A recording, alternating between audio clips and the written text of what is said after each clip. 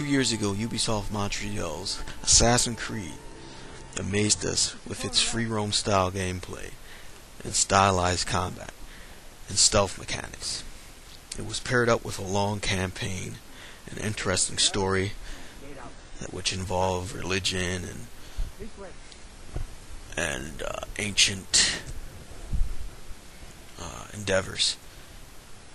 But numerous elements kept it from hitting near perfection.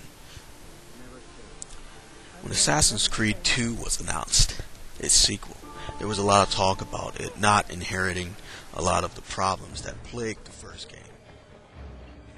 Good citizens, in its wisdom, the Minor Council has approved the reopening of with the coast of Barbary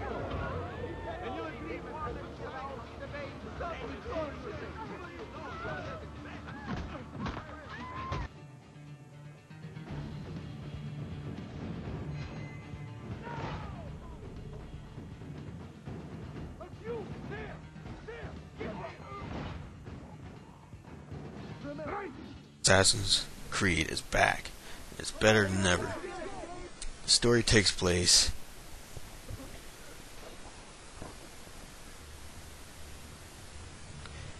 at first in the present day, as Desmond Miles fights with Abstergo to escape the facility.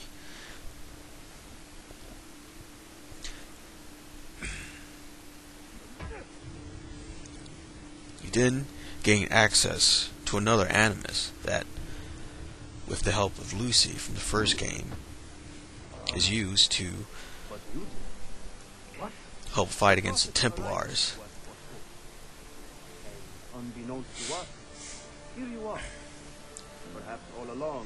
Desmond Miles' ancestor, Ezio, is the one they need to dig up information about to help win this war against the Templars.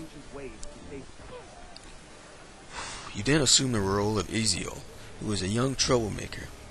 His family is mysteriously tried and murdered.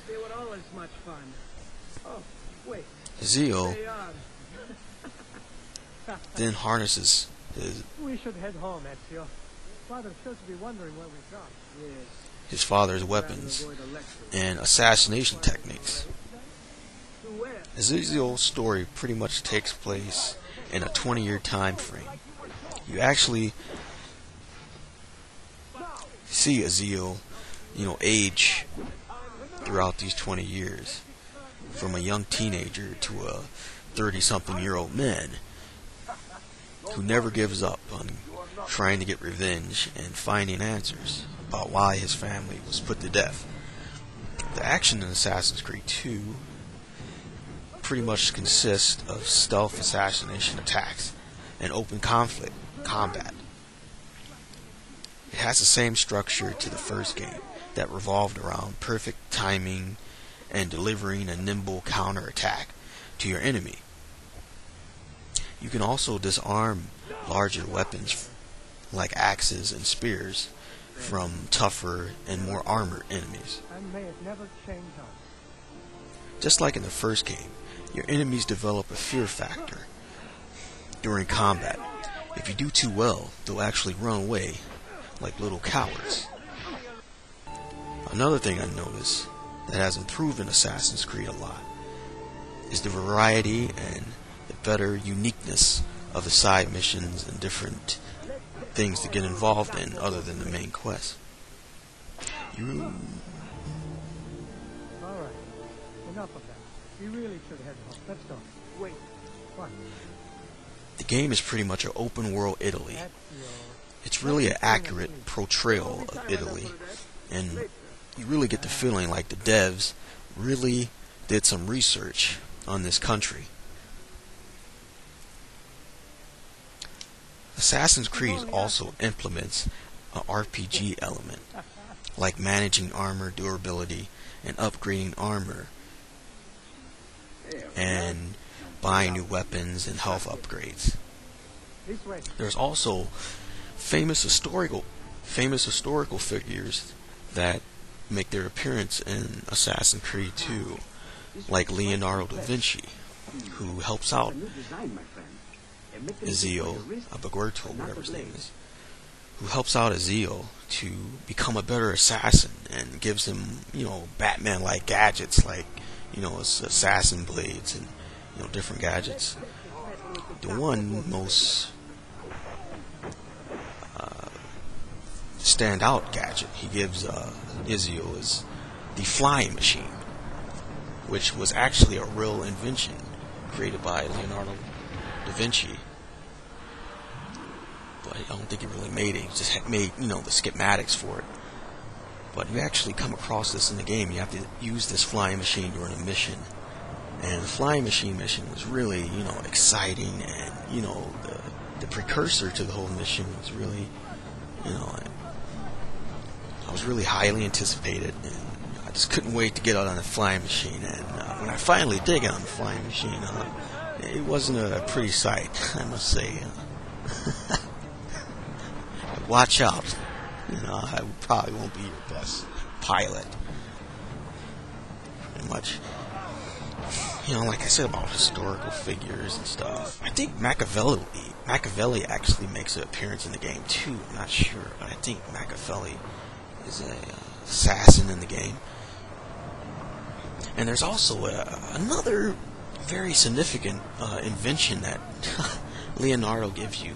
Now remember that this game is 19. This game is 1488 uh, or something. You know, the year is 1470 or 80 or something. And uh, Leonardo crafts this new invention for you, which is called the pistolo, or pistol, in other words. In other words, it's a gun. You actually have a gun in this game, and it was pretty cool to use. It's very slow, it's very old fashioned, but man, you know, it's really freaking powerful. And, uh, you know, you lock on. Actually uh, assassinated a uh, target with this weapon. Now, moving on. Now, the graphics in uh, Assassin's Creed are really well done. The character models look really nice, and the game actually hosts hosts good atmospheric effects.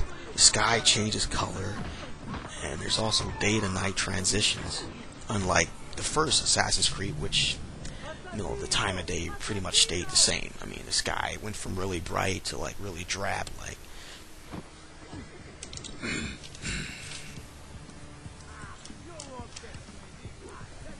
Assassin's Creed 2 incorporates uh, a uh, water drench effect. Water drench effect where Ezio can swim and when he emerges from the surface of the water, his clothes are soaked in water and slowly dry off. I really appreciate this effort, and it looks really nice, uh, but it's not the best water drench effect I've seen. But uh, another thing that's improved in Assassin's Creed 2 is the is the music. The music is really improved. You know, it's a blend of rock music with a Persian style type of resonance to it. The music really adds an edge, you know, in some action scenes. You know, I really, you know, like hearing the music. It's definitely one of the uh, essentials about the game. Playing Assassin's Creed 2 really makes me realize how good a single player game can be. This game is non-stop fun. It's really long. It's about an 18 hour campaign and the story is really captivating and suspenseful. It blends well with the gameplay, and you know you just won't regret checking this game out. Uh, it's really long. You know, it takes patience, but you'll get there. It's not a difficult, it's not a challenging game. It's just very long and it's very exciting. It's a much more improved game over the first Assassin's Creed. So really think, you know, everybody should check this out. This game is awesome. It's well made. It's well developed. You know, definitely put this one on your hit list.